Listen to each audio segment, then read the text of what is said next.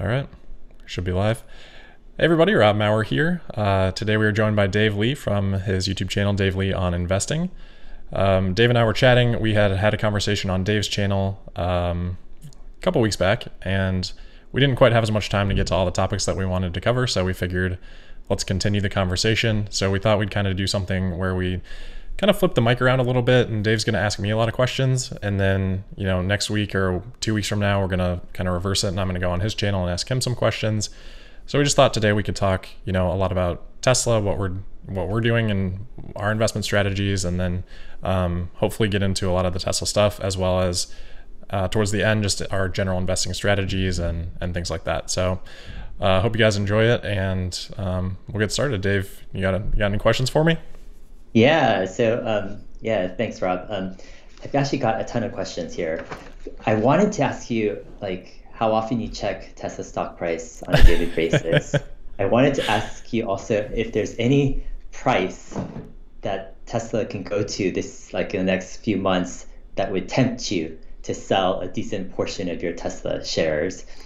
And I wanted to ask you about your Model 3, you know, purchase, why you got that over the Model Y um, so there's a bunch of these personal questions, but yeah, um, I wanted to start. well, should we start? With, should we start with the stock price? That's a great place actually, to start. I wanted to start out with more Tesla stuff first, and then yeah. kind of dive into more personal things. Um, because yeah. I kind of uh, wanted to actually ask you about your investing strategies as well, kind of how you view diversification risk, how you view options versus stock.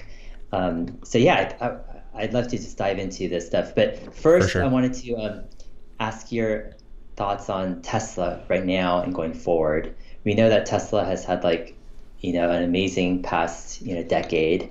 And as we look out, let's say next year, what's kind of the most exciting thing that you see for Tesla? Like, I mean, there's a bunch of stuff like full self-driving, battery factory, Cybertruck, profits, but what's kind of the thing that kind of, you know, tantalizes your focus? Like, you're, you're thinking this is the biggest thing that I think personally. Yeah. Yeah, for sure. And there's a couple things there. So uh, a lot of questions there. Let's start off with this, just the stock price. I mean, I check it a lot. I think um, it's not necessary for people to to check the stock price, you know, every single day or every single hour or whatever. It really depends on your investment strategy, which is some of the stuff we're going to get into.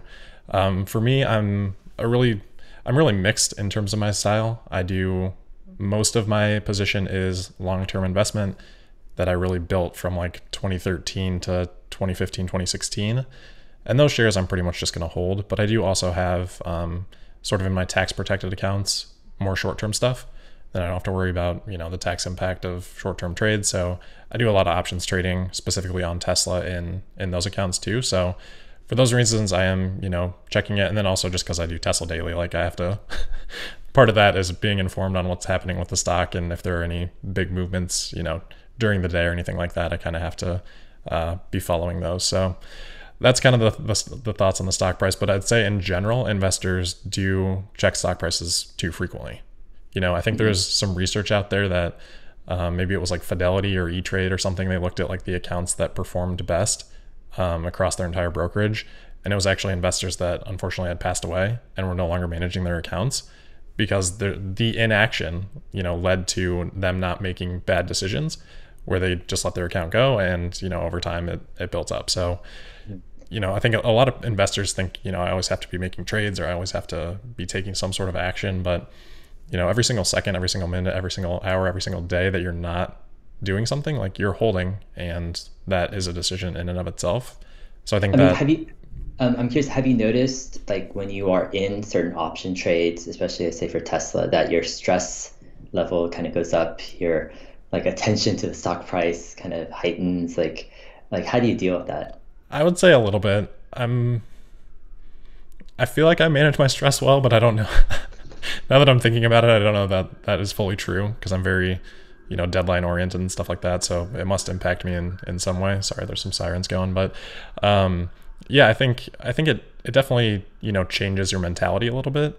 But the important part for me at least is to to be aware of that and um you know to understand how that affects sort of your decision making or your psychological approach to investing because it definitely does mm-hmm. um, you know if you're just holding a stock and you made the decision okay i'm just going to hold this for 10 years you know you don't have to really worry too much about what's what's going on day to day but if you're in those trades, yeah, you're you're way more focused on that. It it can be stressful at times, but I think paying attention to your level of stress and, and making sure you're not getting into trades that are too stressful is is extremely important. Like unfortunately I have I do have listeners that'll, you know, if the stock is down six percent or eight percent or something like that, you know, they're they're asking like why is this? Like this is so frustrating.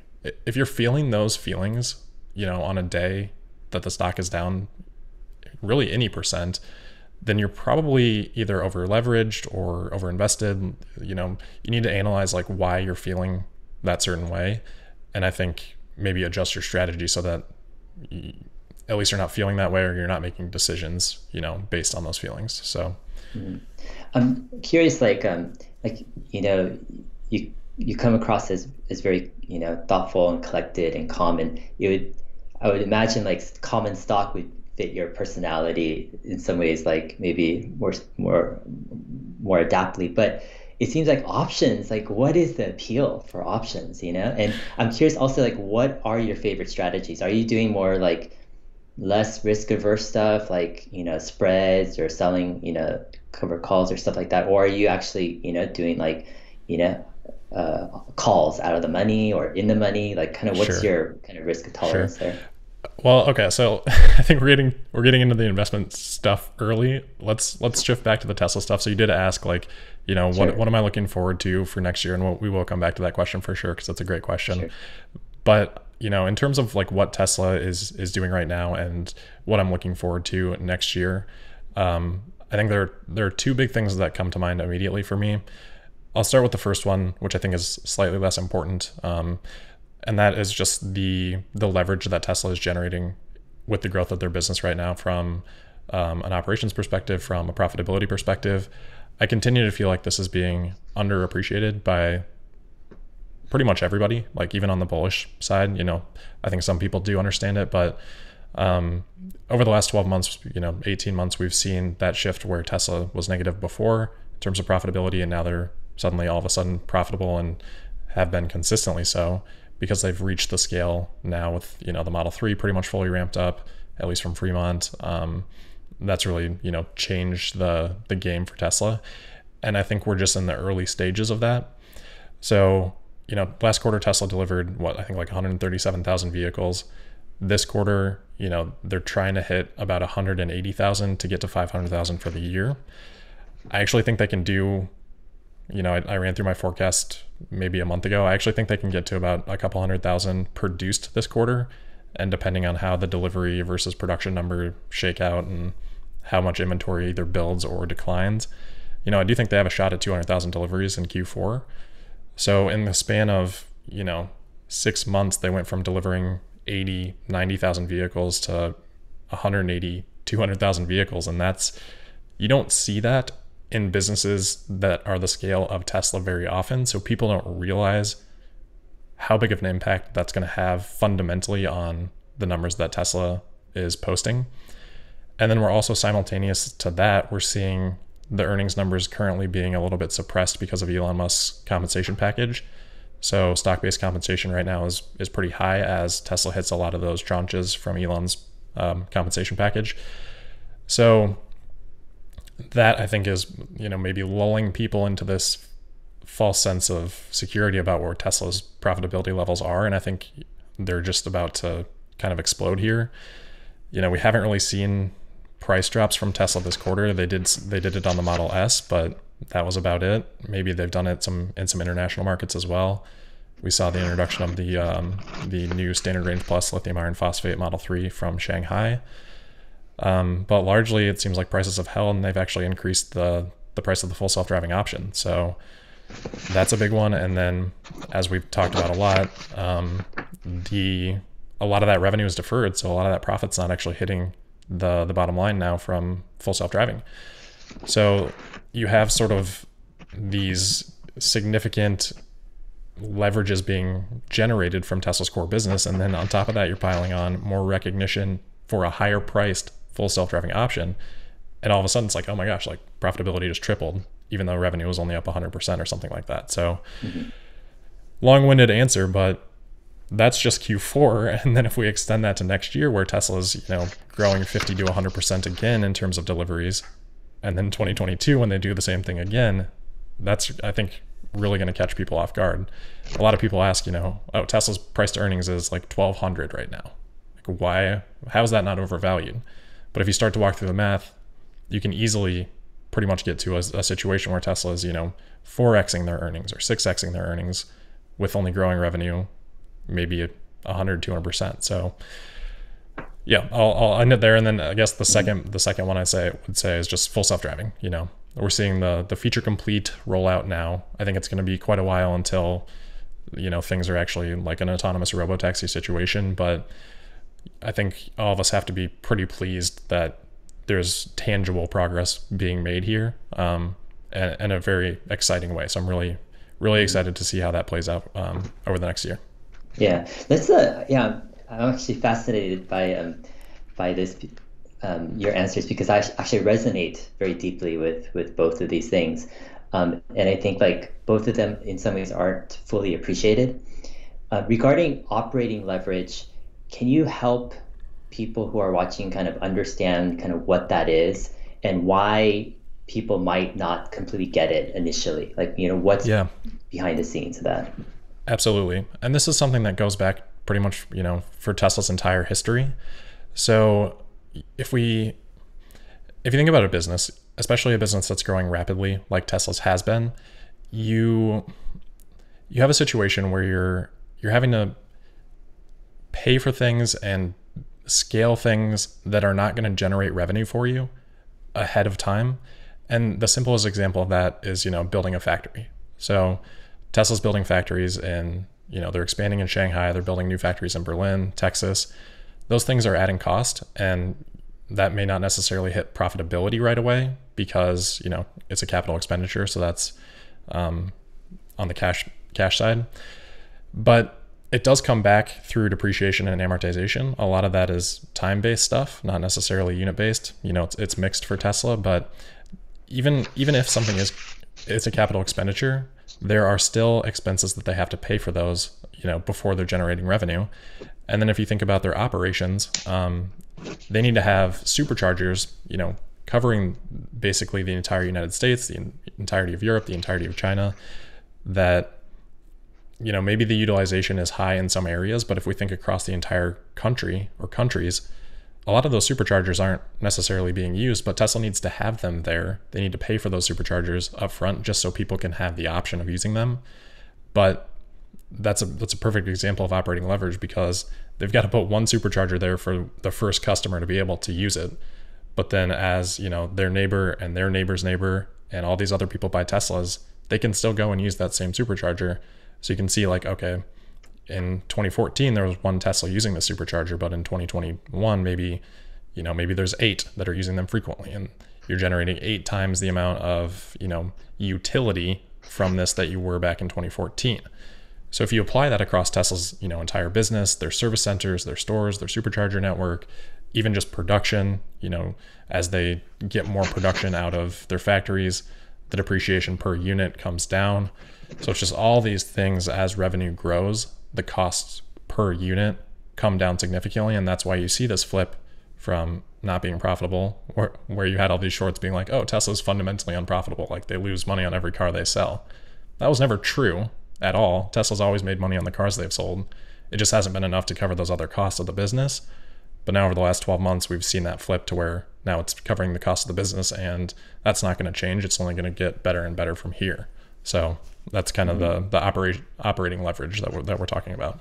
Sure. Like one of the um, interesting things about Tesla the past several years is I have we haven't seen their operating expenses, like namely like you know their research and development, the general um, SG&A line. SG&A, we haven't seen it really go up that much. Like you mm-hmm. know it's been very constant, whereas their production and revenue has just skyrocketed in the same time like have you noticed that? And kind of what are your kind of thoughts regarding that? Yeah i have. And i was actually you know that was one of my core i don't know core things i was trying to get out there back in like 2017 2018 i went on this podcast called adventures in finance which i, I later realized was pretty much run by a full-on like tesla q person. Um, but I, you know i was explaining that concept of like if you look back the trailing kind of three years back in 2017 you were starting to see the signs of that where you know, SG&A as a percent of sales was dropping from, you know, maybe like 22% to 20% to 18%. And you could actually look and look at how SG&A compared to forward revenue because you have to understand that some of those SG&A costs, those are, you know, ahead of revenue because Tesla has to hire people to work their stores before they can sell a car, for example. So you can start to see that that leverage being generated. I am pretty surprised with how how strong they've been or how strongly they've been able to leverage that. Like I would have expected by now we would have seen those those costs start to increase, but if you look at just the the straight costs, not even the percentages, like you said, R&D and SG&A, they've pretty much held steady for the last, you know, 8 to 10 quarters even though revenue is probably 3x in that period of time. So it's it's pretty impressive. And um, you know, Tesla talks about it pretty much on every single earnings call, but I think a lot of people just kind of sit there and like, oh yeah, like I'm generating operating leverage, like cool. But they're doing, you know, pretty remarkable work in that in that regards. And, you know, tons of credit to Tesla and to to Elon and to Zach for um, you know, being able to pull that off. Yeah, like I, I definitely like see that. Like sometimes I call Tesla like a lean, lean machine because like they've almost like done the impossible in a sense. Like they've scaled right entire Model Three program, factories, Model Y, yet their operating expenses are like fairly flat. And I'm like, wow, there must have been a lot of focus and discipline. Like in your opinion, how much, let's say for example, did Zach Kirkhorn, their CFO, like what was his role, you think, in this whole thing? Yeah, it's tough to say. I mean, Tesla's a, a lot of it's, it's, a massive company. They have a lot of people making decisions. You know, it's it's never the result of one person. But I would say since Zach has come in, it definitely seems like there's been you know more focus on generating generating that operating leverage and um, you know keeping costs down, keeping costs in control. And you can you can go back to and around that period of time, they were talking a lot about that on those you know 2018 time period earnings calls. Really, as Model Three was starting to ramp up, and I think I think Tesla was really taking a hard look at their, you know, their business structure around that point in time. If we fast forward a couple months from that, we saw them go through that period of time of like, okay, we're closing, you know, most of our stores. And then a couple weeks later, it was like, okay, just kidding. We're not closing most of our stores. We're actually going to build more stores. so you could tell, you know, unfortunately the timing around that was pretty bad because the stock was kind of tanking. So it didn't, you know, didn't look the best from a sentiment perspective. But um, you could kind of tell that they're, they're in that reevaluation period. And I think a lot of what happened with the Model 3 ramp up did surprise them. Like it obviously didn't go as smoothly as they expected. And I think that caused them to take a really close look of like, okay, this is, we're kind of struggling here. How can we get through this period of time? Well, we can bring our costs down and that's going to give us more runway as, as low as we can keep those costs.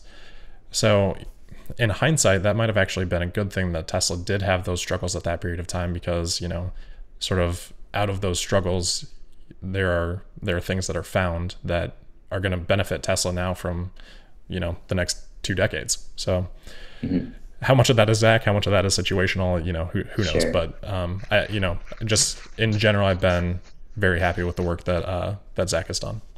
Yeah, I think um, also with operating leverage, it's often underappreciated. Like what you're referred to before with depreciation amortization, it's like in the early days of Tesla, they're building these factories, but they're really inefficient. You know, like right. they're spending billions and billions in the gigafactory, et cetera. And they have to depreciate, you know, and amortize all those expenses into their current cars um, over time. And so that's a high expense, and it's it's it's something that weighs down the the margins un, until you have like those expenses get you know depreciated, and then you have new factories which are you know much more efficient. Even bigger. Yeah. Yeah, bigger. And they're spread out over more cars. And so And they're not the necessarily impact, in California.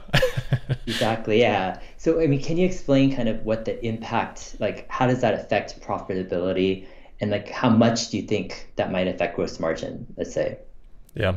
Yeah, I wish I had the numbers in front of me. I don't I don't have them right now for, you know, what percent of the costs are depreciation and amortization, but the concept itself is pretty simple. You know, let's say you're expensing a hundred million dollars per year. You know, let's say your factory costs five hundred million dollars, and you're amortizing that over five years. So you're expensing a hundred million dollars per year. If you're only in your first year managed to get like one vehicle produced, then the entirety of that cost is going to be applied to that one vehicle. It's going to cost $100 million. You know, this is simplifying things because it's part of it's time based, part of it's unit based. So this is a simplified concept, but the, the, the, the gist of it is that all that, all of that expense is going to be applied to whatever you produce. So as you grow your production, you're increasing the denominator, I think. Yeah.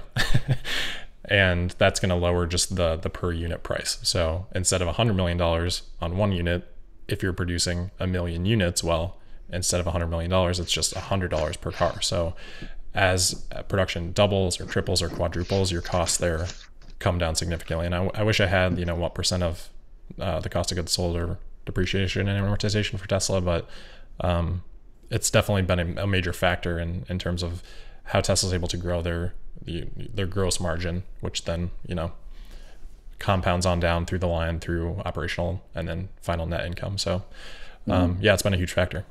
Yeah, um, yeah. I mean, I I like I'm very excited about operating leverage and profits. Um, especially like since 2018 or so, I was I was like making that the main kind of exciting kind of thesis for Tesla in the next few years, because partly it's like I don't think a lot of people were understanding like the business model or just the how Tesla will generate profits at a certain point because their operations are so lean as they grow revenue, their profits just increase, you know, radically. Um, why, in your opinion, do you think? Um, I wouldn't say like everyone didn't get it, but there were a lot of analysts out there who maybe just didn't get it, or just maybe I don't know if it didn't get it, or if they were just emphasizing emphasizing the risks, the current like risks, let's say in 2018 or 2019, that they right. just didn't like really factor in, you know, what's going to happen this year, next year, and the following years, or was it something else? I mean, what's your kind of take on like how yeah. this you know story is misunderstood? Well, I think it's it's a it's a combination of a lot of different factors. Like you have you have analysts that are you know forecasting Tesla to not be able to ever produce or sell anything close to you know multiple hundred thousand Model 3s per year. Which at the time, if you don't know a ton about Tesla, it kind of makes sense. It's like, okay, this is, you know, this is electric vehicle and the market's just, you know, less than 1%. Like this is not going to be the top selling car in its segment.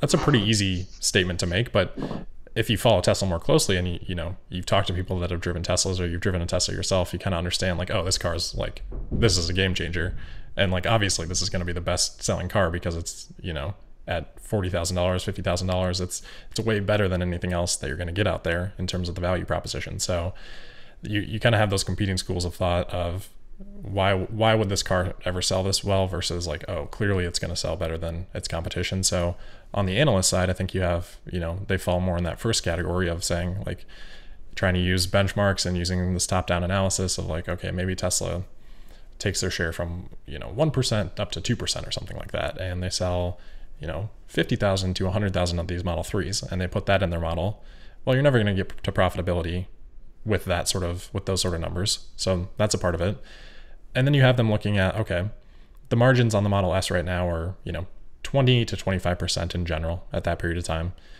and that's a ninety thousand dollar car. Like okay, how how is Tesla gonna take that and go to this you know slightly smaller car and all of a sudden sell it for thirty five thousand dollars and then make margin on that? So you have them putting in super low margins, you know maybe five percent, ten percent gross margin, which isn't going to be enough to cover your operating costs so then you never have them flipping over. You know, you have low scale, you have low margins, and that's never going to flip over into profitability. And to their credit, like it's fair to be skeptical of those things. It was kind of that's a difficult thing that Tesla has done. You know, Tesla fans kind of get it, and it was sort of expected, but it's really unprecedented. And this is like insane what Tesla has accomplished. So I can't fault anyone for not necessarily predicting that. You know, especially with analysts that have to you know have to have something that is defensible in their argument from like or in their analysis from a numbers perspective and a lot of that stuff at that time just just wasn't so if you don't have that scale if you don't have those margins it's never going to flip to profitable and then you have like okay why does tesla have this multi you know tens of billions of dollars in valuation if they're never going to be profitable fundamentally because they can't get to that scale and then it's you sort of lose interest on what what's going to happen in 2030 if you don't even see them succeeding, you know, in 2023. So I think it's it's kind of a combination of all those all those mm-hmm. little things that Tesla just you know consistently has overachieved on those expectations, mm-hmm. and and now we're at the point where people are like, oh my gosh, like look at what they just did with the Model Three, like it's the leading leading car, like Model Y probably going to do the same. Oh, look at what they did in Shanghai. They ramped up to 200,000 vehicle per year production rate in 12 months. Like, okay, well, that's a precedent that we can use, and we can apply that to Giga Berlin, Giga Texas, and then all of a sudden, the path to Tesla being this multi-million cars per year type of company is is like super clear. And then you have this competition that's coming out and not competitive. So they've given their best effort. Well it's an even clearer path for tesla. So that's why we've seen this shift in valuation so dramatically over the last 12 months is because like all that stuff has you know become clear now mm-hmm. yeah it seems like it seems like part of the world at least the investment world that's been sleeping kind of on tesla or just kind of ignoring it. Now he's like woke up, right? And you have this massive all of a sudden. realization. yeah, all of a sudden. Right? Yeah. And um, the stock price reflects that. I mean, if I was to be talking with you last year, let's say Tesla's at 300 at some point uh, in 2000. I wish, you know. yeah. Or, or, yeah, this pre-stock split price. yeah. 300. Right. And I say, hey, Rob, um, Tesla's going to go to 3000, you know, in 2020. like, would you, what would be your reaction? Would you think I'm crazy or would you Oh, like, man.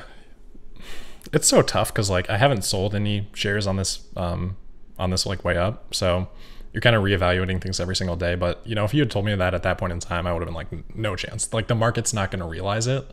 And that's been the biggest surprise for me is like how, how suddenly the realization has happened in the market for Tesla to go from at their low last year, last June, they were like $176 per share, which would be what, $35 right now post split. Like that's insane. 18 months ago, $35. Now we're at 600, like almost a 20x in the course of 18 months. Like that is insane.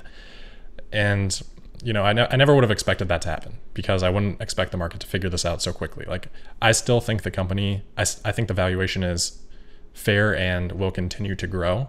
So the valuation itself is I'm fine with it. It's just I would not have expected the market to apply that valuation. But we have seen you know a lot of things come together. There's there's a lot of this hype now in the EV space like, you know, I'm sure we'll talk a little bit about like QuantumScape and what's been going on with all these SPACs and all these other electric vehicle makers that now have 20 to 80 billion dollar valuations. It's just been, you know, it's been kind of a crazy year. So long-winded answer, but you know, I, I definitely would have been surprised, and unfortunately so, because there, you know, there are people on the Tesla Motors Club's forums that are like, oh, I bought these like one dollar, seven hundred dollar, um, seven hundred strike calls on Tesla back in around that time period of time for like January of 2021, and now those are up like 500x. just like shoot.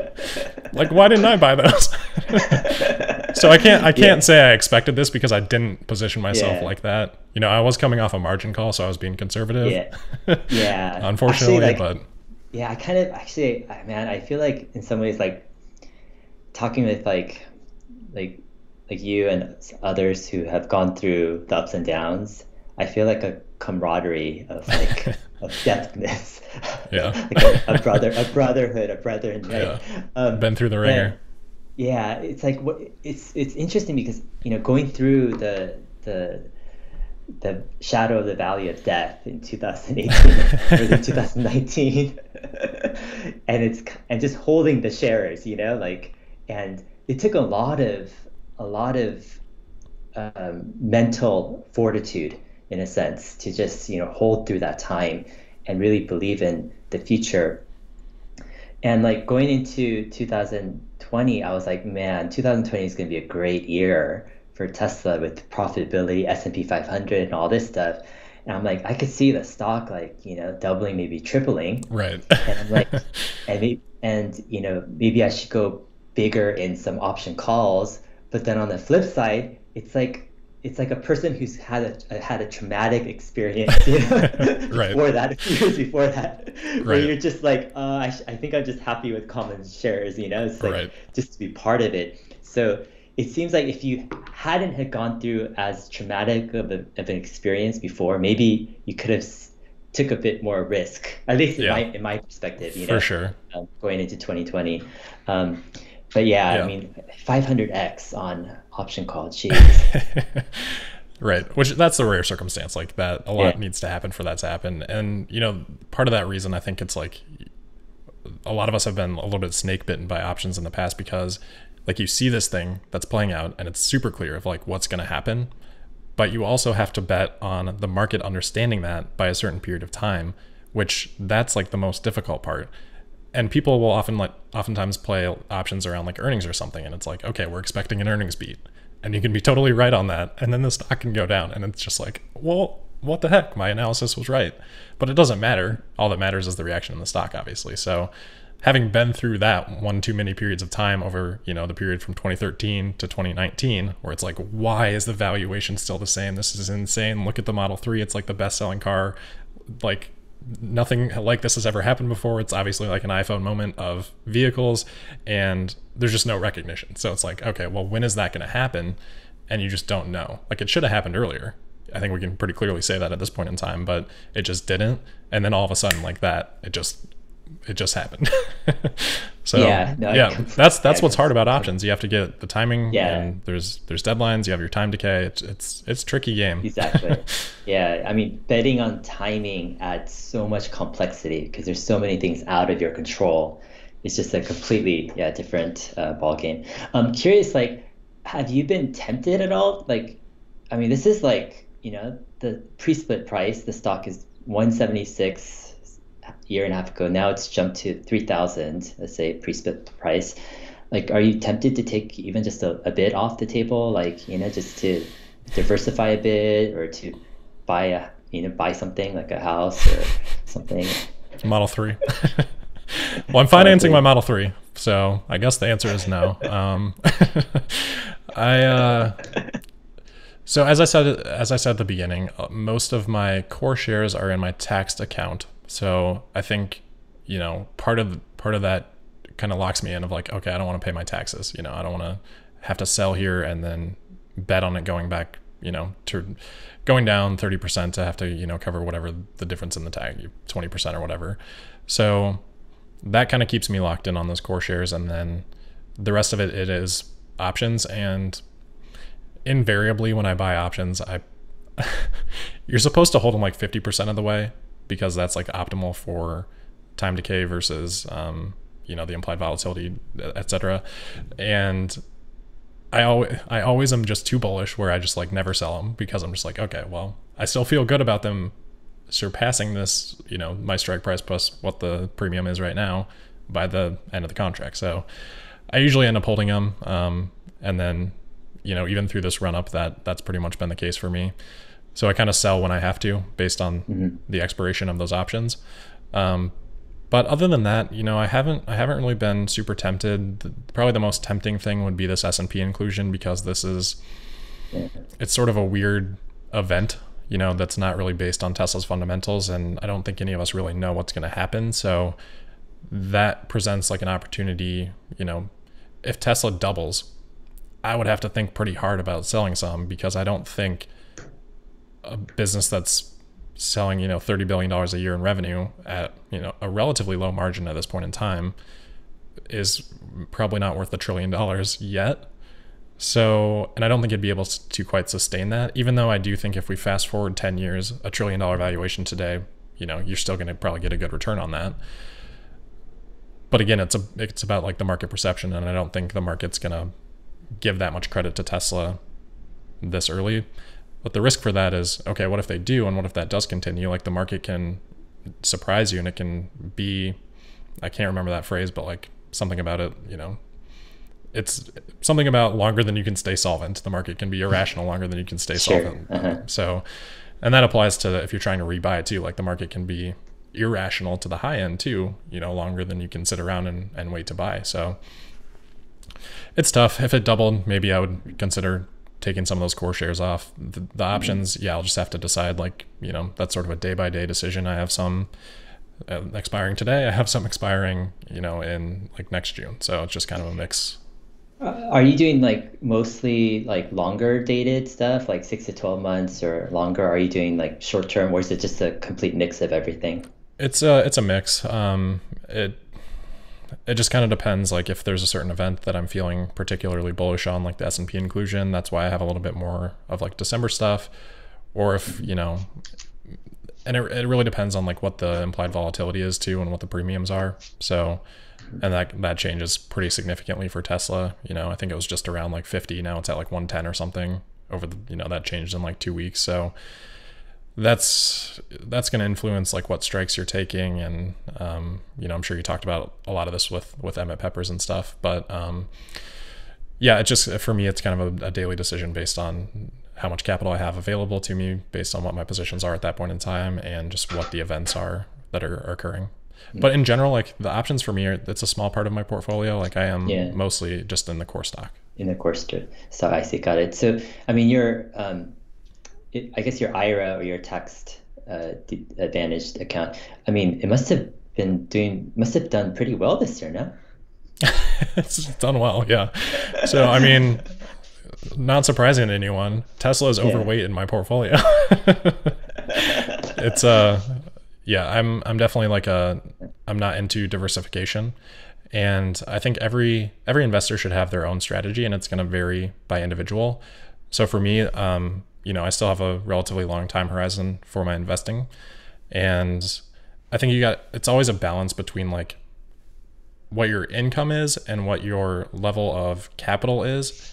And I think the more that skews towards income and the longer the time horizon you have, the riskier in general you should be with your capital because you're going to if you're not taking excess risk, you're not in general you're not going to outperform. So you have to balance that and find the areas of opportunity where it's, you know, there's the imbalance there. But in general, I would say, you know, younger people that have a, a longer time horizon, that have more of their net worth or more of their, you know, whatever, their, their assets coming in from income versus sort of their nest egg, be more aggressive at that point in time. But like once you're, you know, a little bit further along in your investing journey and you've got, you know, those gains and you have that capital, then at that point you have to decide of okay you know maybe 4% of your a 4% withdrawal rate on your capital is going to earn you more than working your job would. And at that point like why are you going to risk everything in like a super high risk investment like tesla $700 calls or something like that? So it's you just kind of have to decide based on your risk tolerance and your time horizon and everything like that. But you know for me i do i do I don't like diversification for myself personally because I want to generate those excess returns, and I believe that I can based on my analysis and track record. Um, so for me, I'm kind of like I'm going to find this one investment. I'm going to pretty much go all in on it, and that's what I've done in Tesla. You know, pretty much for yeah. the last decade or so. Like I, I do have other investments, but you know, Tesla now going up 15x from probably my cost basis. I don't know if that's accurate, but um, it's obviously a you know the the vast majority of my portfolio probably 90 95 to 100% now at this point so. Yeah um, it's interesting you bring up actually some really important concepts here. Um, one is kind of like the impact of loss. For example if you lose a lot of your investments it means different it's, it has a different meaning if you're closer let's say to retirement or you can't make up that loss um, right. or if you're depending on that loss right? Or depending on that money for for security, right, in the future, versus if you're earlier in life where let's say that amount is not you're not so dependent because you have so much time you know to work and income and to save etc so it seems like those profiles are very different you know with investing and exactly. it seems like if you're if you're young especially if you have high income and you're young um, and you're so risk adverse where you don't want to touch anything and you believe that you know complete diversification is the way it seems like there would be some missed opportunity there you know? Because if you compare if you could combine the belief that there are these great opportunities that you could find with maybe um, rigorous due diligence and research that could help reduce some of that risk it seems like there's huge opportunities, um, especially in an age of technology disruption, you know, innovation. Um, if you can catch some of those, you know, a big winner like a Tesla or something, it seems like the the reward is just mind-boggling, you know, of what you can yeah. achieve compared to if it's just stuck in like a three or four percent, you know, return, you know, yeah. uh, safer investment. Yeah. Exactly. And the, and the way that I kind of think about it, like let's imagine like a, you know, 23, 24 year old and they've saved up, you know, five or ten thousand dollars, let's say ten thousand just for for simple math. If they invest that just in, you know, an index fund, they're gonna get maybe seven percent returns. Maybe that doubles in ten years. You know, lately the market's been doing better, so let's say that doubles in in seven years or something like that. So you've taken that ten thousand, seven years later you got twenty thousand dollars. Well, for a thirty year old, twenty thousand dollars that's you know been working in their career for eight years now. Let's say they're in a good financial position coming out of college, they worked through it, their parents paid for it, you know, whatever the case may be, or they've just been diligently paying down their debt. Twenty thousand dollars for them at that point in their career, if you know this is a high income earner, is is not going to be really significant for them. Um, so it's like, okay, well, why not take that $10,000 and try to get maybe a little bit better return by being in something that's a little bit more concentrated that you've done the analysis on and that you believe in? Because if you lose that $10,000 while your income, you're going to make up for that in, you know, whatever period of time, less than a year, versus if you take that $10,000 and you invest it and you can find a company that 5Xs or 10Xs, well, then you're at, you know, when you're 30, 50,000 or $100,000 and that's going to get you, you know, great down payment on a house, a vehicle. Like that's going to actually provide some value into your life. And not to say that $20,000 is nothing. This is just sort of an example for this one hypothetical person. That's still a lot of money, but you know, it's you can get to a more game-changing amount of money from from being more concentrated. And I think unfortunately a lot of people don't really you know, think about that way. They only just think about like, "Oh my gosh, like this $10,000 was so hard for me to earn." and I don't want to lose it. Mm-hmm. But if you yeah, fast forward like 15, 20 years, like it's, it's that's not going to be that important to you. I don't, I don't, I don't know. Yeah, definitely. I think, um, yeah, I mean, it also helps like if you do have higher income and higher savings rate, like um, where you can make that up quicker. You know, if it mm-hmm. takes you like five or ten years to save up ten or fifteen thousand dollars, then it's maybe it feels like it's it is you know a much bigger amount. I mean, in your exactly. case, you know, coming from you know the job and industry that you were part of before going full time, um, and having that higher income, did that help you, you think, to kind of save more and to be more, a little bit more risk taking in, in your in your investments? Yeah, absolutely. And it, like I didn't have that high of income, but I, you know, I saved like super super aggressively. Like I, you know, I paid my first my first like 6 years out of college, I want to say, I literally lived in a basement there was a window, but I lived in a basement. I had two other roommates. I was paying like $600 a rent here in Milwaukee. So that gave me, and you know, I didn't have a car payment. My car was paid off, and that gave me a lot of opportunity to, you know, put a lot into investing versus someone that's maybe paying, you know, $1,200 in rent. They have like a $300 car payment where, you know, I'm saving $1,000 more per month than, than they are. And that's, you know, $12,000 every year that you can then invest in um, in stocks. So it those little differences, you know, can add up, and you don't necessarily need to be a high income earner. It really is about like your savings rate, as you talked about. Um, but sort of on that line of thought, like for me, that's one of the reasons that I didn't do any like postgraduate schooling is because you know I understand this this time value of money and the opportunity that there there is in investing. So like for me, it was like okay, I don't want to pay an additional fifty, hundred thousand dollars to get like my MBA or to pursue something in you know like the medical field or anything like that, where I'm going to be in school till I'm you know 28 or 30 years old, and then have a lot of debt on top of that, where you know maybe in five years from then or three to five years from then, I'm finally able to start investing. Well, I'd rather start investing at 22 than at 35, even if that gives me sort of a better you know income when I'm 35 I just didn't see see the value for for that when when you've got that you know that route for investing. So yeah, I mean the, the summary is like save save your money, invest you know as much as you can as early as you can, and I think when you're in that situation, that opens you up to be able to take those risks and to be able to get that outsized reward. And that you know that's the type of stuff that can you know be pretty life changing for some people.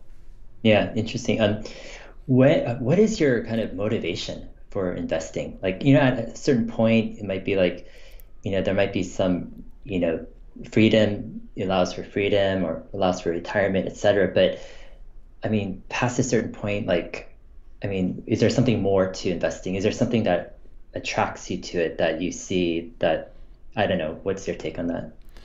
Yeah, I think it's I think it's two parts. So definitely like me having having the knowledge of investing and having you know at least a little bit of a nest egg like by the time that I was you know getting getting ready to like consider taking this podcast full time that definitely gave me the confidence that like okay if something bad happens at least I can like survive for a little bit with the money that I've saved so it opens up new opportunities and you know because I had that I've now made this decision which you know to this point has been a very good decision. I'm very happy with that choice. Um, and um, I feel like I'm just providing a lot more value to the world now than I was you know working working at that corporate you know corporate retail job. So for me, even just having that, even if I'm not actually using that money or spending it on anything, it gives you those options and it gives you sort of that confidence and that flexibility to maybe take some time off or pursue this side hustle that, you know, isn't going to make up for your full-time income right away. You, you just have that, have, you have more options available to you. And I think that's, that's at the end of the day, what it's all about. Um, and then, you know, looking like longer term for me, you know, Tesla Daily is not the end of what I want to do. Like I've said that on the podcast many times. Um, I want to, you know, build this into something bigger that can help more and more people. So that's really what I'm I'm focused on now is like how do I get from from this where this is today and make this into something that can really change the game for a lot of people. Like I think investing there's just it's it's it's ripe for being disrupted right now and we're seeing that with all these Tesla YouTubers and you know, I think this is just sort of the, the tip of the iceberg. Like the game is changing. It's it's not controlled in this tight knit Wall Street group anymore. And I think that's exciting and there's a lot of potential there. And I want to be, you know, whatever small part of that I can be. Um, that's what gets me excited about, you know, where this is all heading. Yeah, no, I agree. I think, um, yeah, Wall Street or research is being disrupted. Um, mm-hmm. Before, without the internet and technology, it might be like you know, just put um, held in certain hands that had closest ties to to the management. You know, but with kind of a crowdsourced model, information being public, sources being from everywhere, and it's being democratized in a lot of ways. And I don't think like people understand the full ramifications of how much investing is being disrupted. You know, yep. it's like we're just in the beginning stages. Um, exactly. Yeah, it's huge. Um, I'm curious uh, with investing. When did you catch that like realization of like, wow, like I want to do this. This is important. Like, you, when did you catch some vision of what investing could be? Was it something like earlier on in your life, or I'm trying to remember later? here, and I'm I'm kind of laughing because I don't really know if I want to say this because it's so ridiculous, but um, uh, part of it I think has been innate for me, but part of it I learned just like when I was a kid, I played this game online called Neopets. and it was kind of cool. It was like this online. I was very young. Like, don't don't judge me too much, but I played this game called Neopets. It was like this online game, and it had like this full economy. Like, you could have a store, you could sell to other Neopets users and stuff, and um, there was like a stock market on it, and the currency was like Neo points, and you could you could invest your Neo points in like a bank that had interest and um, in the stock market, which would you know generate returns on you and stuff. So like that's that's part of where I learned some of this stuff weirdly enough. Um, but I, th- I think I've always just had sort of this like natural interest in it. Um, and you know over time that involved like I started investing with my very limited capital that I had in high school just from like working you know delivering pizzas and stuff, just a couple hundred bucks here and there. Um, I started investing in high school, uh, but even before that, you know I had had interest. Um, thankfully, my first investment was my first actual investment was Apple, so um, when you when you do something like that, it, it very you know very suddenly opens up your eyes to to what the potential is. Um, mm-hmm. But I think yeah, I think for me, you know, I've always just had a really good understanding of math, and um, part of it is just like wanting to not spend my life, you know. At that point, I'm doing things like delivering pizzas, like cleaning apartments during apartment turnover, uh, cleaning carpets, and just like that's not what I want to do, you know, for the rest of my life to earn money. So that makes learning about investing and investing, you know, very appealing when when you're kind of doing work like that. Mm-hmm. Yeah, um, yeah, it's fascinating. I love um, yeah hearing um, background. Hearing about like, Neopets.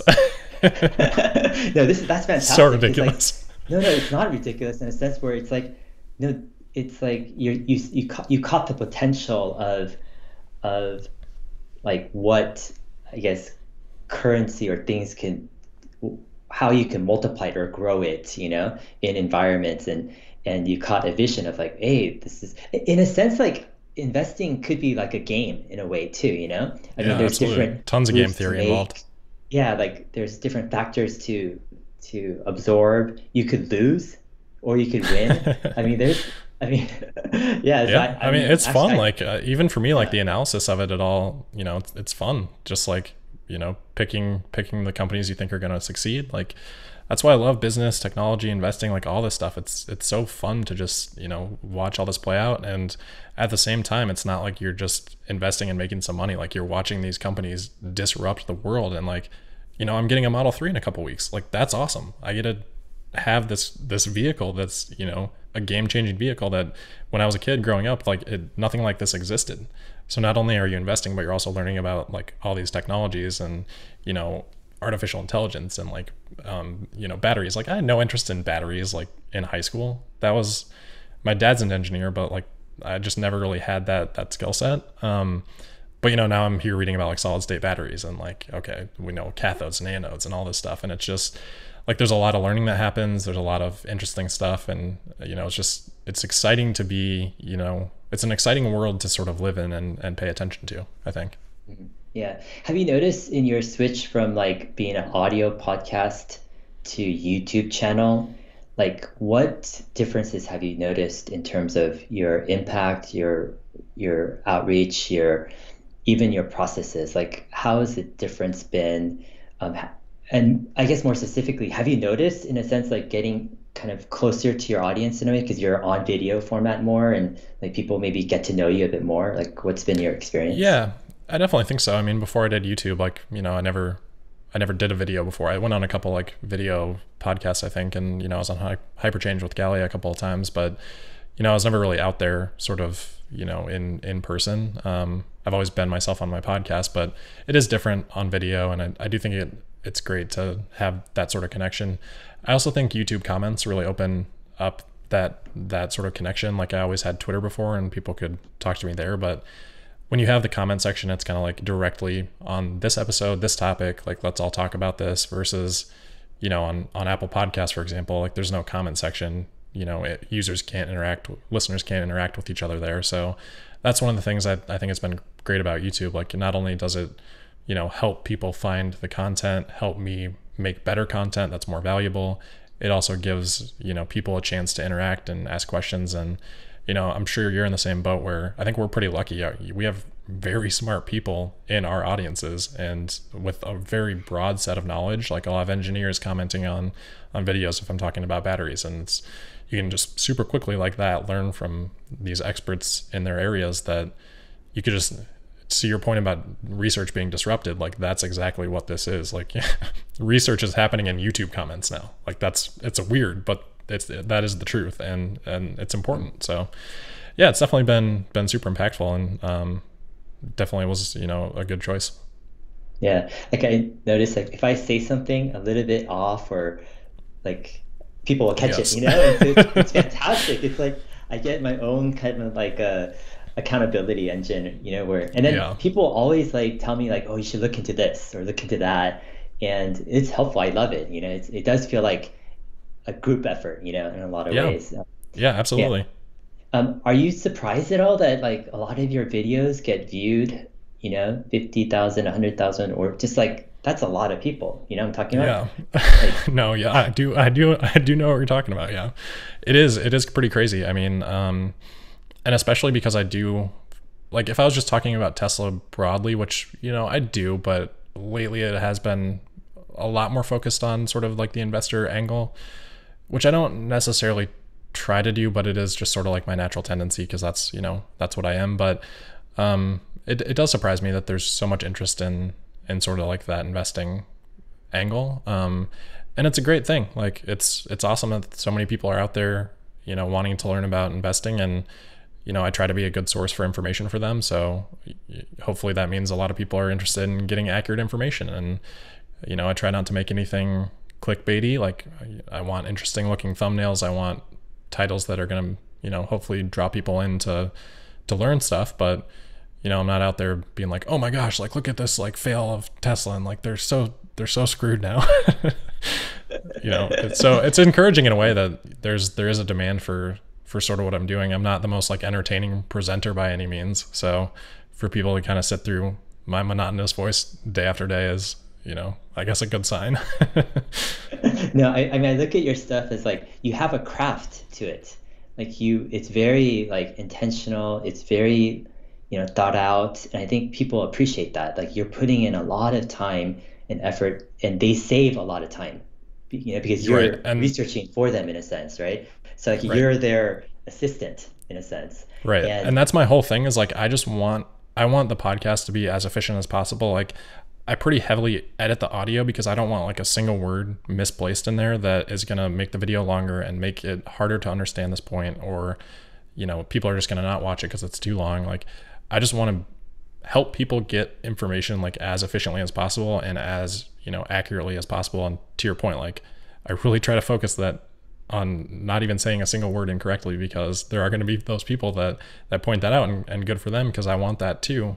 You know, very much a perfectionist, but to to get to that level of quality is is you know it takes a lot of work and takes a lot of time and um the, yeah. yeah. I mean I, I I for one definitely noticed that you know attention to quality, the efficiency, you. know the focus, but then I've also noticed over time like your video, the presentation has improved and it's gotten like very like just very top quality. I'm just like, wow, man, you can like you're like broadcast quality in a sense. You know, this could be like a, complete show yeah. on any TV network. I mean, yeah, it's uh, super impressed. But um, it's just a privilege as a person who's who's seen you you know from many years over. Well yeah i think you were the first first interview we did on the on tesla daily back in like september of 2017 i want to say. Yeah because i had followed your stuff on tmc for a long time so yeah know. i remember i was like walking out walking in like our uh, hoa neighborhood and it was just like on the phone but yeah, like, yeah it's, uh, it's different yeah. It was fun. We should go back and listen to that. I'm sure there was some interesting things there. I remember specifically you talked about like autopilot needing to wait for like a version 3 because it was just like the sort of philosophy that you had that it's always sort of like the third version of something that really starts to take off. It's like Model 3, hardware version 3, like Exactly, yeah, cuz actually I remember back then in 2017 people thought or some people thought that fully autonomous was coming just in a year or two, you know? Right. like, completely. And um, yeah. it's interesting. I mean, um, I, I, wanted to get your opinion on full self-driving, but first um, on your Model 3, why did you get your Model 3 or order one and not a Model Y or something else? Yeah, um, I definitely considered a Model Y. It was close. Uh, for me, you know, I don't have a family, so I don't really need the extra space. Um, I, am not like a big, you know, outdoorsy camper type of person where I, I have a lot of equipment that I need to haul around other than like the podcast stuff. So uh, for me, the the Model 3 fits my needs. And then, you know, I'm naturally super frugal. So if I can save, you know, four or five grand from opting for the Model 3, I'm good with that. And then just having higher efficiency. Um, especially I haven't looked at the the highway efficiency numbers, but I've got to assume that you know just based on the the larger cross section of the Model Y that it probably gets a little bit worse efficiency on on the highway, even more than like the differences in the EPA ratings um, for the Model Y versus the Model 3. So once the heat pump came into the Model Y and sort of everything was similar across the platforms, that was like for me the deciding factor of like okay, I'm I'm good with the Model 3 now. It's been updated to seemingly have the latest technology. I do live in you know in Wisconsin, so it is a colder climate, so that heat pump was was big for me. If that hadn't happened, I probably would have gone with the Model Y. Um, but yeah, it's just a sort of a, a cost efficiency and a, a, fuel efficiency type of situation for me.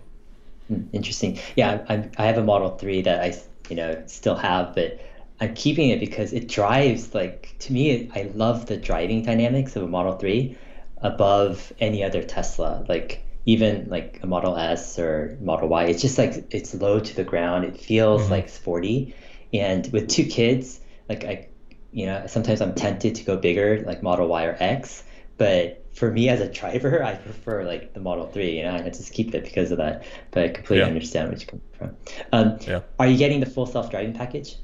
Oh, absolutely. That's the main reason I'm getting it. Like, I feel like we're at the point now where, you know, with FSD beta that I really want to get hands on and experience these things for myself. Like, I think, I think sometimes people do overemphasize their own personal opinions with or their own personal experiences with products, and I think sometimes that can be a detriment.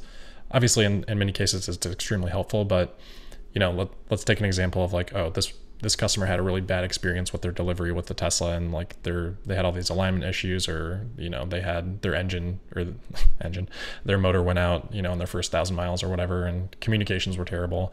That person you know they might be that 0.1% of people that had a horrible experience and they might completely write off investing with, in the company because of that.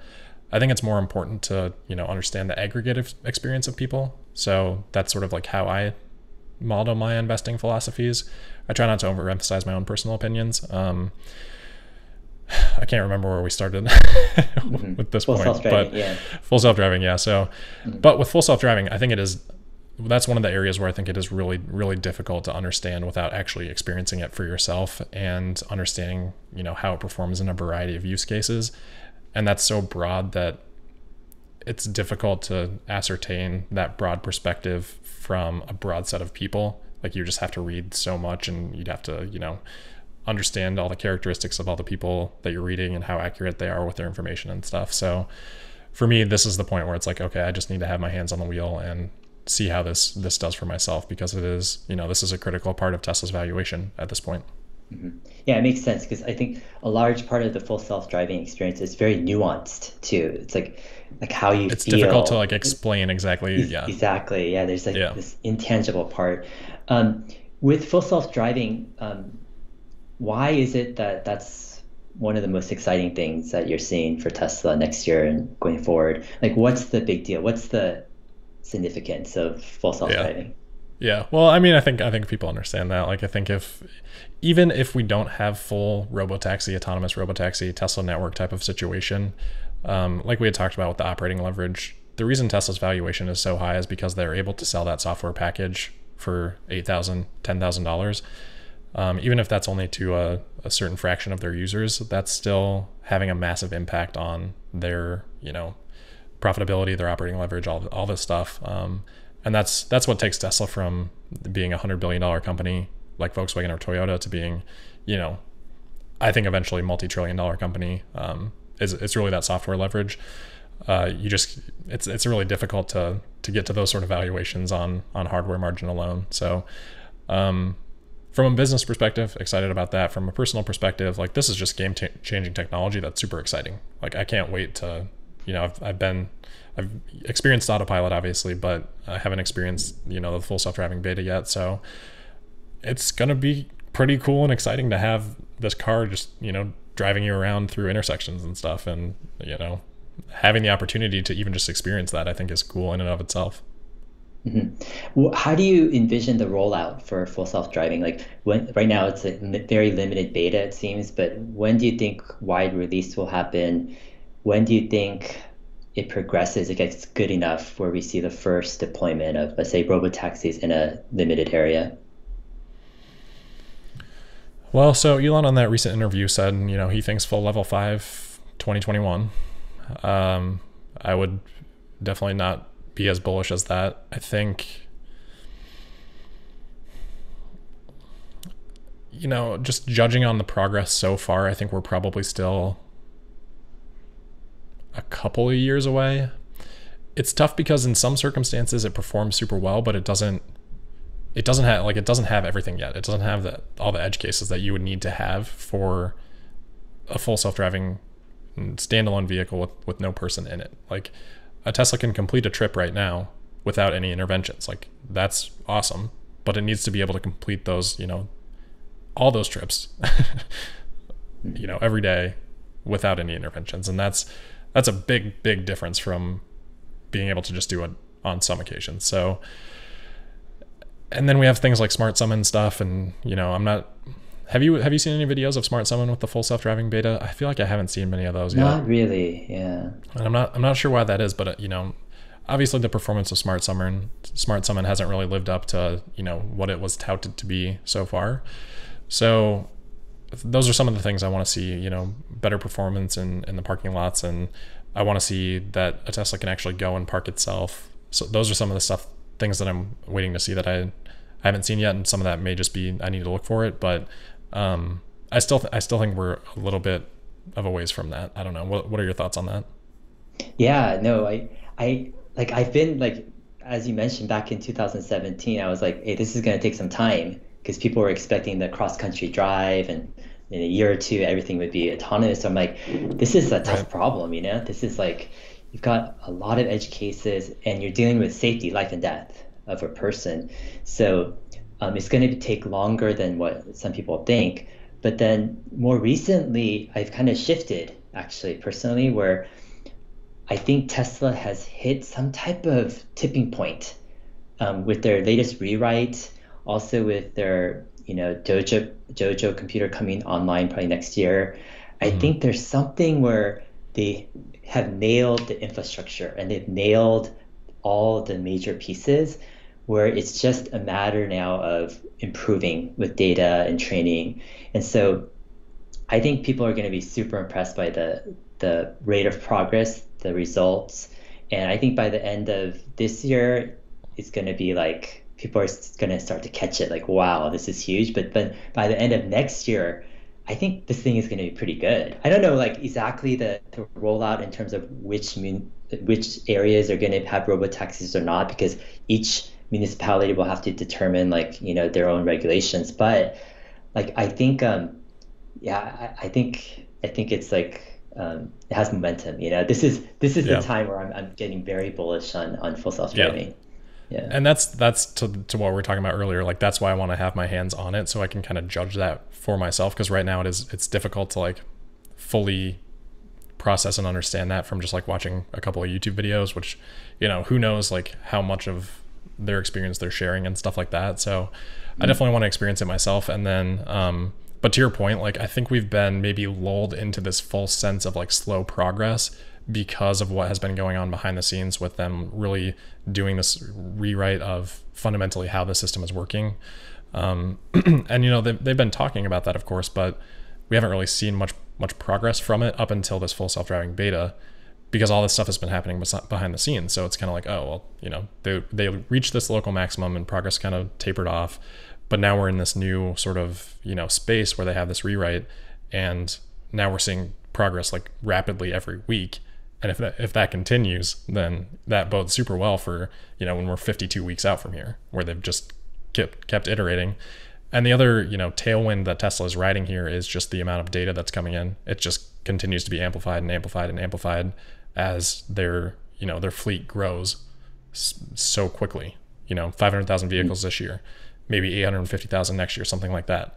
Like that's gonna it almost doubles the fleet in terms of what the um in terms of like the hardware three fleet. So that's another thing that you know I think is going to be super beneficial. And then as you mentioned with Dojo, like that's that's kind of why I say maybe a couple years from now because I think once they get Dojo going, they'll I feel like they probably need that before it's really ready for like an autonomous taxi type situation.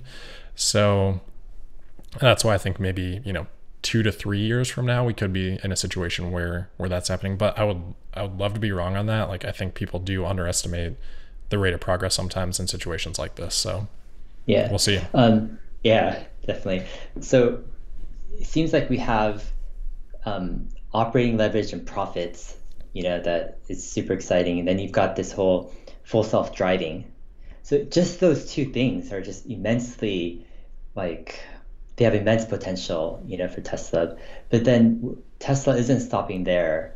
They've got this whole Roadrunner line, 4680 cells, cell to chassis stuff going on. Um, and then they've got all these factories, right? You have Austin, you have Berlin, Shanghai expanding.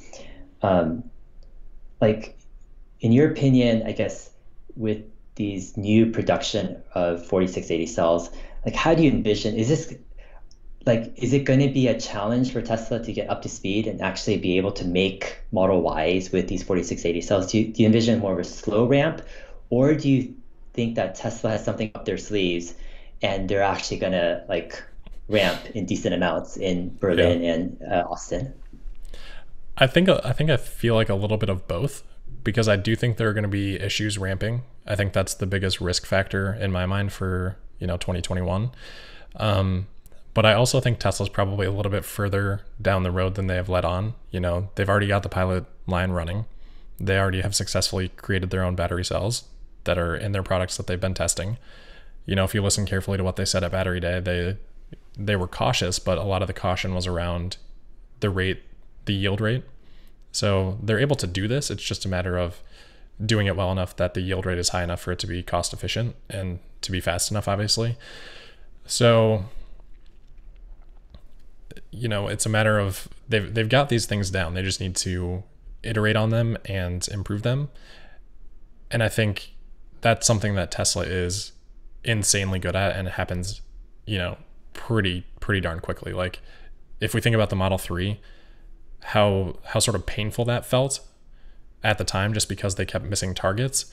If you actually look at it in hindsight, they went from doing nothing to doing, you know, thousands of vehicles a week in a year and this is the first time they've, you know, done any sort of high volume manufacturing pretty much at all.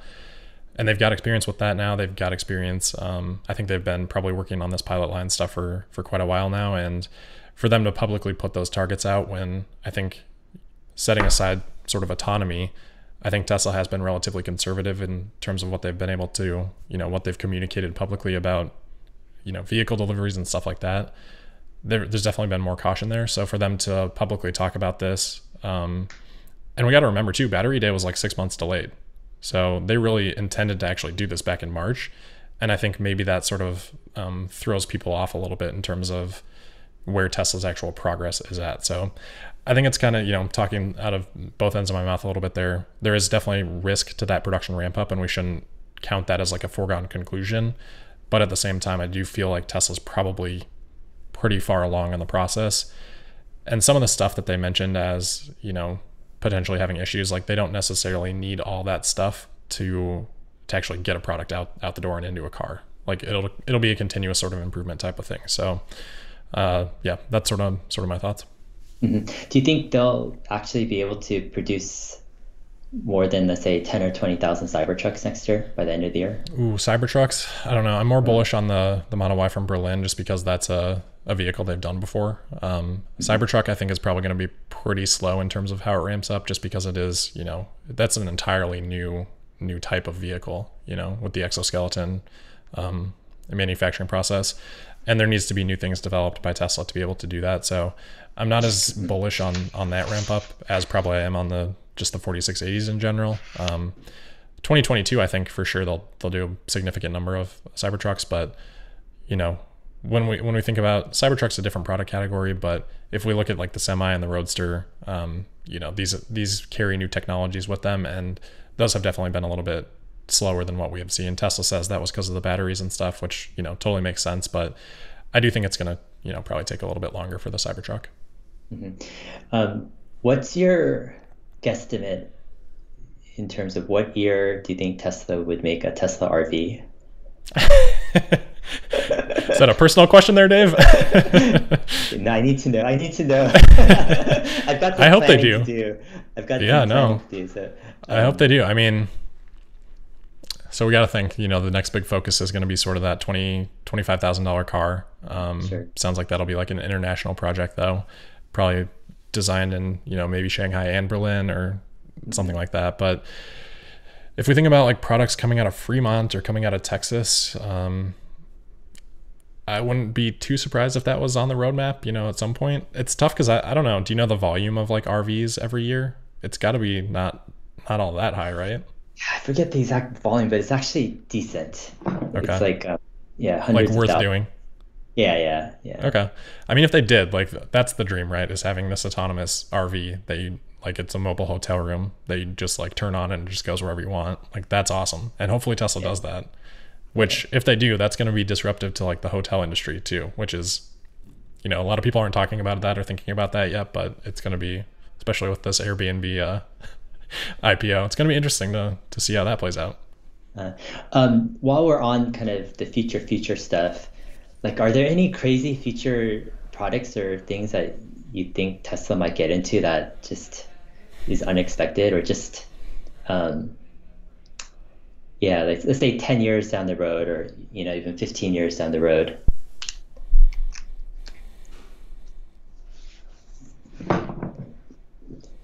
You know, the obvious ones are obviously like home HVAC system, electric jet. I would love to see Tesla do something in the water space, you know, ships or boats or personal watercraft. I don't know that the market, you know, it might not justify that because this is what's tough about Tesla is they're going to get so big so fast that all of these sort of categories that would be super exciting for consumers are potentially going to be not that beneficial to Tesla's business at the scale that Tesla's going to be because they're going to be producing, you know, in a decade, I think probably 20 million cars a year, doing trillion, you know, over a trillion dollars in revenue. So it's like, okay, well, what markets are going to enter then that are worth your time? And they become sort of fewer and fewer. So it's tough. I don't know. I mean, I, I guess what I would say is when we think about it, like when we frame it that way, it's probably got to be something that's, you know, technology related. And I would say that comes back to what Tesla's doing with Dojo. I think there's probably opportunity to extend that maybe in sort of a way that is similar to what Amazon's done with AWS. Um, you know, Tesla might be able to leverage their their skills in that area to to sell those resources off to other companies that are also looking to do things with artificial intelligence. So if I think about like a product line that you know has potential for Tesla, where they're gonna that's gonna matter enough to the scale that Tesla's going to be in five to ten years, like I I got to focus in on something like AI related. You know, it just kind of has to be of that mm-hmm. sort of you know scales. Interesting. That's kind of what I'm thinking. Yeah. Um. Yeah. I was um this past yesterday I was watching this uh IPO roadshow video of DoorDash, and I think they're at like a $55 billion valuation right now um, with local delivery. And it was fascinating because they're trying to create a local infrastructure, logistics infrastructure. So they say, oh, food is just the first step, right? We're creating this thing where local businesses can give goods and services to anyone, anytime. Um, and their goal is to help these small businesses kind of survive and succeed in a new economy. And I was thinking about, you know, it overlaps with Tesla in some ways because of delivery, you know, transportation, because that's got to be one of the biggest kind of hurdles or costs. And then you have Uber being valued, you know, almost 100 billion dollars. Um, and I wonder, like, what's your kind of take on the future of Tesla in delivery or in logistics? Like, do you think these companies like Uber or DoorDash or even Instacart, you know, like they provide a great service. Like we order stuff and we get the food, but like how do these companies compete in a world with robotaxi? You know, right. it just like cuts the cost of transport so drastically. Like, I mean, yeah, what's your take on that? Yeah, no, it's a great it's a great thing to think about. I think uh, it's something.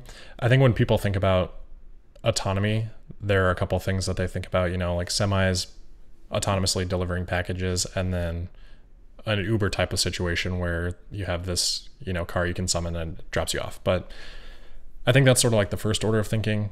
There's going to be a lot more that develops just out of the sheer lower cost of what an autonomous vehicle can do.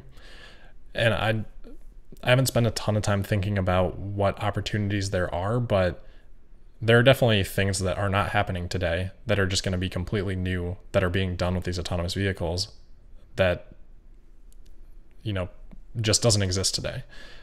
Whether that's like car sharing in the suburbs or you know whatever else like all these everything that DoorDash is talking about like yeah I think it's irrevocably intertwined with what Tesla is doing with autonomy.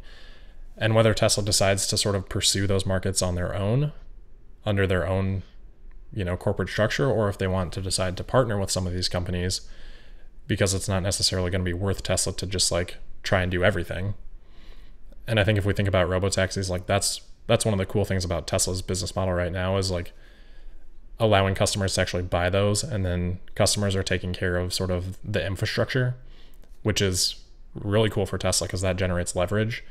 So yeah, maybe they'll give a better rate to these people that are operating these robo taxis than they could get on their own, but they're also saving all of that capital cost from having to like find garages for these robo taxis and things like that. So diverting a little bit from your question there, but I think logistics business is going to be huge. You know how Tesla plays in that TBD, but they're definitely going to be involved. You you can't not be. And I think that extends to all of these like pers- personal logistics type of situations too. Um, and yeah, probably all the stuff that that DoorDash is talking about would be somehow under Tesla's you know realm of what they can play in. Yeah, um, yeah. I remember like I remember like this is probably 2014 or something. I was like at a Tesla event. I think it was their Powerwall event, their first Powerwall or something around then. And I was talking with um, JB Straubel. Back in the day, I used to make sure to go to every Tesla event because the management were just hanging around, you know. Yeah, they were like, small enough then. Talking, yeah, I missed that period of time. Yeah. I was just like, I would do anything and everything I could to to go to these events. But I was t- talking to JB Straubel, and then we're talking about kind of you know transportation and he made something an interesting point he's like yeah it's like you know it's transporting you know uh, from point a to point b and it could be people or it could be goods and so i was like huh it's like even in 2014 tesla is thinking about transporting goods and people you know point a to point b looking at it really from like a first principles point of view um, and I think that's one of the reasons why they're so all in in, in autonomous driving because like this is clearly the future. It's like you know the most efficient, best way. But with delivering goods, one of the challenges I see is you send a robotaxi from the grocery store, from the restaurant to the person's house or apartment building. How does that package, that food, that whatever, get from the car to the person or in front of the person's house? Yeah. Like you need a person then, right? Like so the robotaxi fulfills like 80 or 90% of the of the routes, but the remaining 10 or 20%, it's like that's a huge challenge, you know?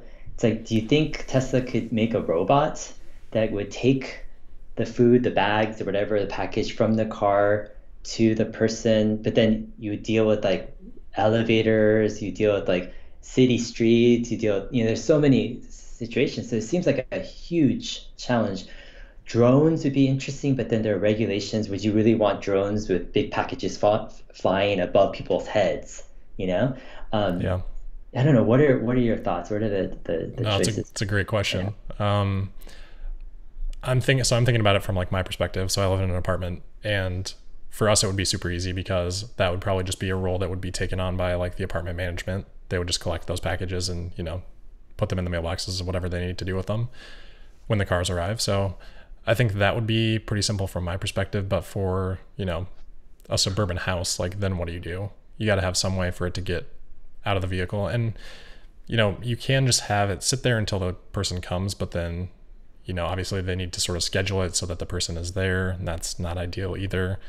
They could have something where it's just sort of like pushing the package out of the car, you know, at this point in time, maybe it's not even doesn't even look like a car anymore. Maybe it's something else, but there could be something that just sort of you know shifts it from being carried by the car to just being on the side of the road or something like that. But that's not ideal because then you you know your package is just kind of sitting there. So you're left with you know kind of what you said of like okay, well how do you get it from the driveway essentially to actually into the house and yeah, I don't know. I don't know that there's going to be a good solution for that anytime soon. So I'd imagine it comes down to sort of like scheduling and and things like that, or having. I don't know. Maybe there's someone in the car that we get back to having a person. You know. Yeah, exactly. It's kind of like the Model Three ramp up of like, oh, people yeah, are actually pretty good at doing stuff. Yeah. yeah. So I don't know. I, I think the challenge is interesting because it really is going to require some crazy, like creativity, engineering, you know, something to finish that last, you know, 10 or 20%. And of any company out there, like seems like Tesla would be the, the company to, to, to do something, you know? Um, yeah, I find it. Well, I definitely know there are definitely companies out there that are working on, on that. Like I've seen, I don't follow it super closely, but I've definitely seen um, articles or videos talking about these sort of like package delivery robots that basically do what you're talking about here. So there are definitely people working on that problem. Um, and I suppose if we can have full self-driving cars on the road like why not have something that is not on the road that's not going at high speed that's also autonomous and you, you know first principles thinking like obviously we should be able to do that. So i think it's just a matter yeah. of like cost and how those robots all get around and if it makes sense. Yeah.